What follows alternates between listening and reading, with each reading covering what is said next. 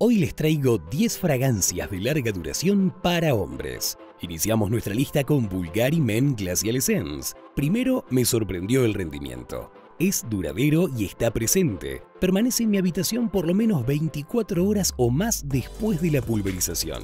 También me atrapa con la base ligeramente dulce de almizcle de enebro subyacente a la frescura.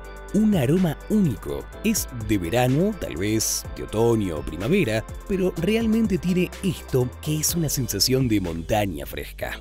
Libérate de los confines de la sociedad y vuelve a la libertad de la naturaleza salvaje cuando estés usando Bulgari. Encuentro que la apertura es increíble, fresca, nítida y limpia. Una madera clara y un poco de cedro que dejan un rastro de sensualidad suave como la seda a tu paso. K. Dolce Gabbana EDP. Esto es muy pero muy bueno, de larga duración y agradable sin ser demasiado, y con una fragancia muy singular. La composición general es el nivel de una obra maestra y el néctar de higo es simplemente increíble probablemente uno de los mejores lanzamientos de fragancia del año 2020. Muy recomendable, sin duda. Es elegante, es sobrio, pero de una manera poderosa y discreta. Una refrescante fusión de cítricos picantes con naranja sanguina explosiva y limón siciliano es la apertura de K de Dolce Gabbana. Majestuoso y memorable. La botella representa a la perfección el fascinante mundo de un rey moderno. Te recuerdo que si esta es tu primera vez en el canal, te invito a suscribirte para no perderte nuestros videos. Continuemos. Sedley Parfums de Marley.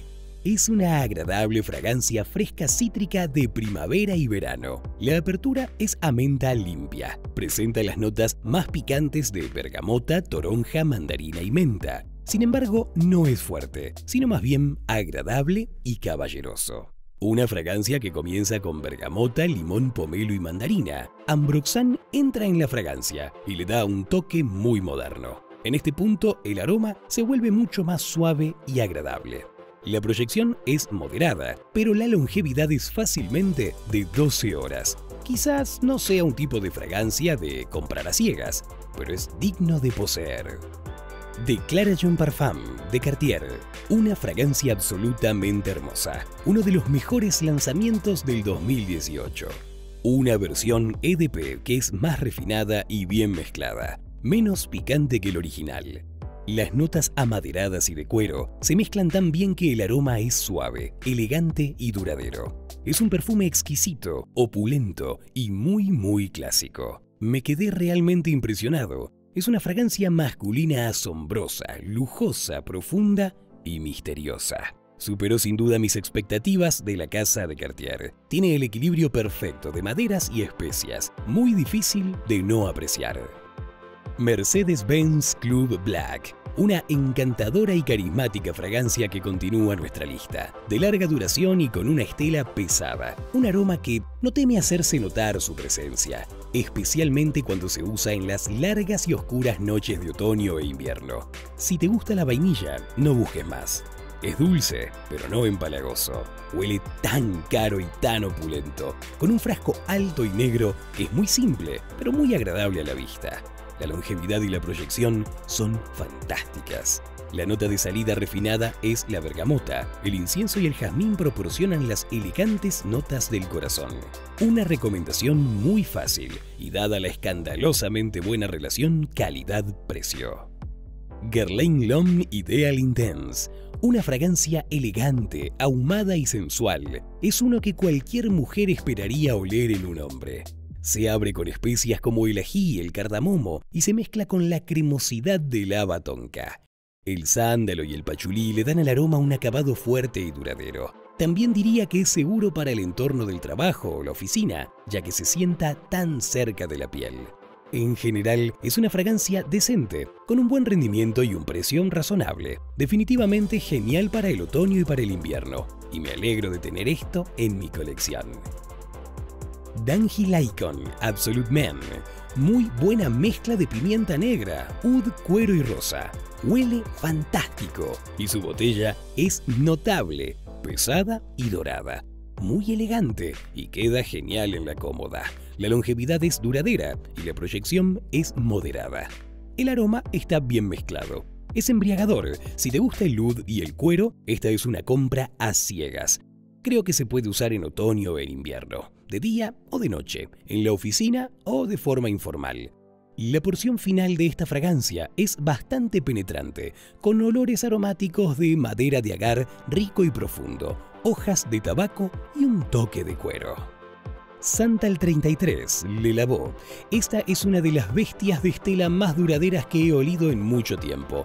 Hay algo increíblemente adictivo en este aroma. Una gran fragancia de sándalo limpio que huele bastante único, ligeramente especiado y ligeramente correoso. A la gente le encanta esta fragancia en mí y yo también lo disfruto mucho, pero es una pena que sea tan caro.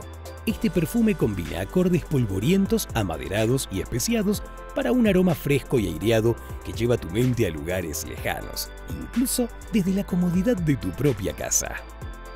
Two and Two Beep Men de Carolina Herrera.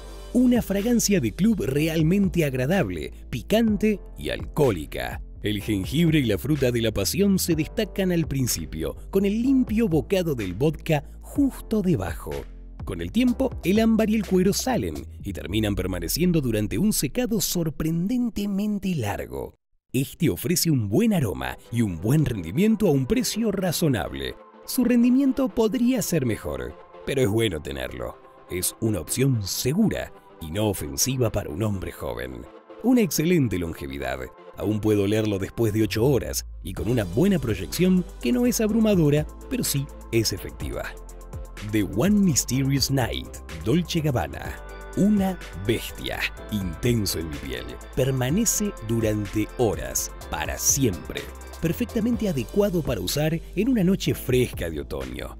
Sus notas de salida contienen azafrán y pomelo. Es bastante unisex, aunque el secado se inclina a lo masculino. El rendimiento además es excelente. La fragancia es realmente una interpretación norteamericana de una fragancia oriental. No es áspero, animálico, denso o demasiado dulce, debido a la toronja. El pomelo es probablemente el único parecido con el resto de los flankers de The One de esa misma marca y está en la base. El oud es muy ligero y lo suficiente para algunos paladares norteamericanos. Si nuestro video te ha gustado, te invito a suscribirte al canal y dejarnos tu comentario. Recuerda que en la descripción del video te dejo todos los enlaces de los perfumes que hemos mencionado. Nos vemos en un próximo video.